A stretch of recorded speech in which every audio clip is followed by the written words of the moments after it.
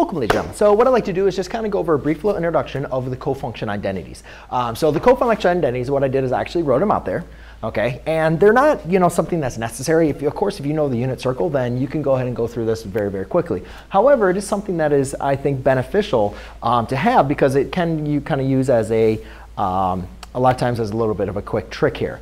And so you can see that basically, you know, the the sine of an angle of 90 degrees or pi halves, it can be pi halves, you know, minus theta is equal to the cosine of that angle. So, and vice versa, you know, going back there. So basically what we have is the cosine of 30 degrees. Well, then what that means is the sine of 90 minus 30 is going to be the same as that. Well, what's 90 minus 30? 60. So that means the sine of 60 degrees is the same thing as the cosine of 30 degrees. So rather than going over to my unit circle, uh, you know, or let's say I don't even have my unit circle. Let's say I'm trying to think of this stuff on my own or it's a test.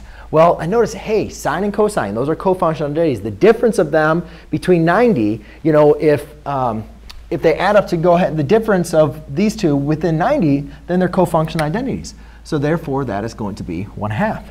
And then we see tan and cotangent. Oh, guess what? Those are, those are differences. So then I look at this. Okay, if theta is 60 degrees, that means 90 minus theta is going to be what um, would be cotangent of that would be the same as this. Well, cotangent 90 minus 60 again is going to be 30 degrees. So the cotangent of 30 degrees is the same thing as the tangent of 60. I don't even have to think about 30 degrees. Where's that on the unit circle? Cotangent. What is that? You know, x over y, blah, blah, blah.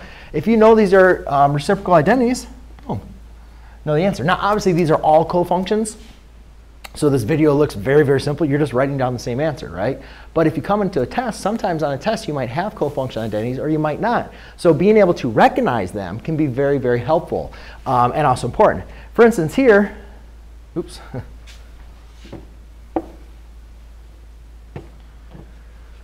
so here I have the cosecant of 90 degrees, um, 9 degrees cosecant 0, 1. So then that'd be the secant of 0 degrees. That's what I've had.